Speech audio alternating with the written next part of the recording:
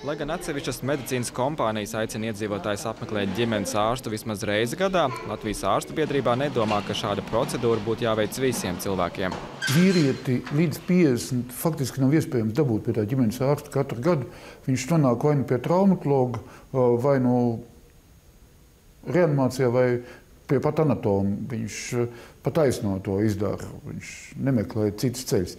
Bet pēc 50 nu, būtu pienācis brīdis, kad vīrietim būtu jāiziet līdz ģimenes ārstam. Tad katru gadu vismaz izmērīt asinsspiedienu, noteikti holesterīnu.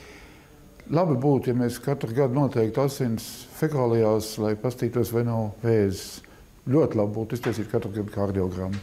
Savukārt sievietēm apinas iesaka ģimenes ārstu vienu reizi gadā apmeklēt pēc 55 gadu vecuma. Jaunākām sievietēm reizi gadā noteikti vajadzētu apmeklēt ginekologu.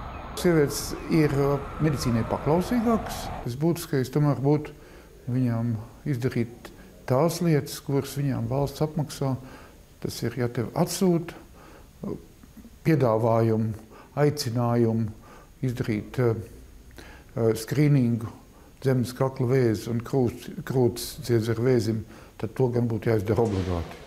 Ģimenes ārsta Ilza aizsilniece stāsta, ka pasaules pētījumi rāda, regulārs ārsta apmeklējums nepasargās cilvēku no dažādām slimībām. To, cik bieži ir jāapmeklē ģimenes ārsts, nosaka nevis vecums, bet katra cilvēka individuālais veselības stāvoklis. Tā kontrolējošā ideja, ka jākontrolē, kad ir kaut kāds kontrolieris vai ne, tautas, vai teiksim ārsts, vai kā tautas kontrolieris padomu savienībā bija, tad jautājums, uz, mēs, uz kurien mēs ejam? Mēs ejam uz tādu sabiedrību, kur cilvēks ir atbildīgs par sevi, viņš saprot, kas ar viņu notiek, un viņš jūt, kas notiek viņa ķermenī, un tad viņš meklē profesionālu padomu. Vai mēs dzīvojam sabiedrībā, kur cilvēks ir vienkārši biorobots, kuram vienreiz eh, gadā ir jāaiziet tehniskā apskata? Trešdaļai Latvijas iedzīvotāji ir liekais svars. Tas ar lielu varbūtību nozīmē paaugstinātu asinsspiedienu un paaugstinātu holesterīna līmeni. Tas atkal palielina, piemēram, draudus saslimt ar vēzi vai insultu. Ja ir liekais svars un netiek sportots, tad pie ārsta jāiet katru gadu arī jaunākā vecumā. Ļoti būtiski tas, lai tas ģimenes ārsts pazītu to pacientu. Un, ja tu pazīsti, tad tev arī ir, nu, krievu valodā teikt, čujas, ņuks un poņa.